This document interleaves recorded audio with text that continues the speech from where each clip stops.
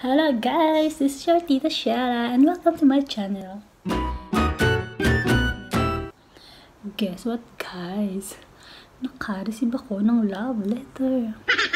Yes, love letter guys. So, lagi.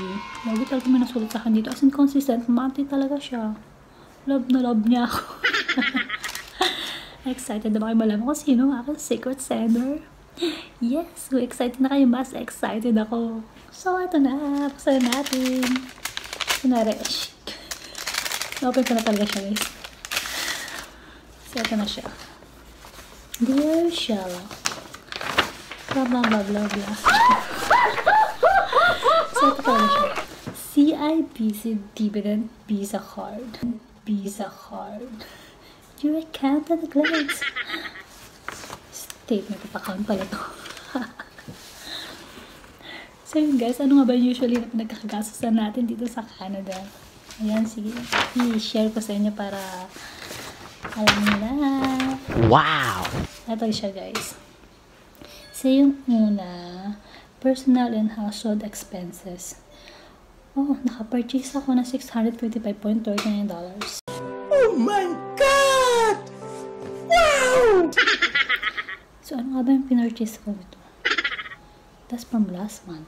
So, napashop mo kasi. Napashopping ako, guys. so, ganito, ganito kasi yon So, yung, yung mga pinamili ko, eh, gagamitin ko pa siya for winter.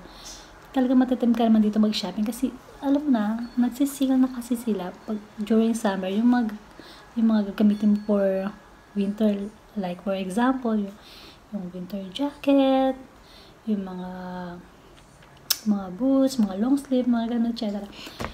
So, yun. Napa-shopping ako. Winter jacket ang binili ko dito, guys, mostly. Kaming dalawa ni Kuya JM. Tigisa kami ng winter jacket, tsaka mga hoodie, mga long sleeve. Basta may mga gamitin namin for winter. Pumili ako ng bago.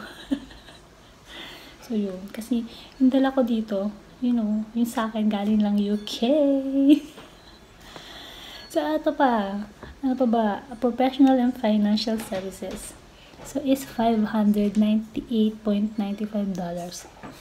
Oh my God! Wow! So, ito guys, ang pinurchase ko dito is yung kay Kuya JM na health insurance. So, it's good for one year na. Kasi alam mo na, hindi pa naman tayo dito permanent resident. So, hindi pa tayo kaka-access sa mga free services ng government. So, since dependent ko siya, meron akong guard may sa school, inad ko na lang siya as my dependent. So, at least, di ba? Good for one year naman na yun. And, retail and grocery. Guys, yung aking retail and grocery, ano to ko sa inyo? Siya. Saan siya? Tcharan! Zero.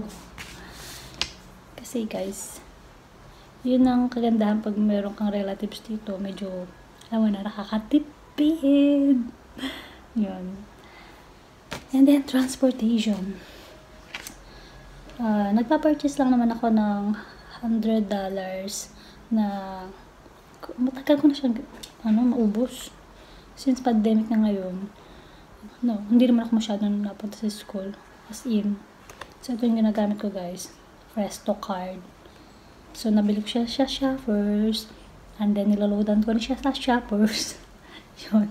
Ginagamit ko yung credit card. So, $100 naman. Matagal mo na siyang gamitin. Pero kung araw-araw ka nagbibiyahe, mas tipid pa rin to kaysa gumamit ka ng cash. Kasi, once na nag-cash ka, ano na yun, wala na yung change. Let's say, nagbayad ka ng $5 or $20. So, paper bill yun. Eh, hindi naman sila nagbibigay ng change. So, much better nagmamit kayo ng ganito para, di ba, mas save 3 something lang. Eh, pag nagbayad ka ng $5, hindi, wala, sukli, sayang. Goodbye na yung change mo na almost uh, $1, di ba? So, yun. And then, ano pa ba masyadong pinagkakagastos dito? Um, house rent. Siyem- so, syempre, sa katulad ko dito na meron naman akong relatives, yun, free. Pero yung rate ng ano dito, nag-range siya sa mga at least 500 pag solo ka, yung single na room lang. Then, kung may kasama ka, nasa mga 1,000 something, ganun. Yung range ng rent. Kasama siguro yung hydro, internet, mga ganun. So, yun guys. Sa education, kay Kuya Jem, mas libre naman. Din yung sa akin naman, hindi ko naman dito ginagamit. May separate ako na ATM for that. So, yun guys. Ang usually na pinagkagastosan natin dito. Gusto niyo ba malaman kung magkano yung aking credit? so, sige, para may idea kayo. Um, so, thank you for watching, guys. See you on my next video. Bye!